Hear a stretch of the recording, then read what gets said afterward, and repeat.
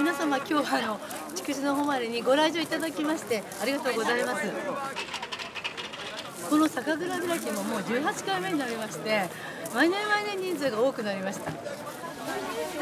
日はもうお天気に恵まれましたので皆さんも滞在時間が長いようです。お酒の方はあの新酒が出来たての新酒を蔵の方で直詰めしてますし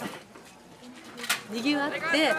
お酒を楽しむもよしお茶を楽しむもよし音楽を楽しむのもよし何でも楽しめますのでぜひ皆様あのご家族連れ恋人連れ会社の方たちと一緒に来てください。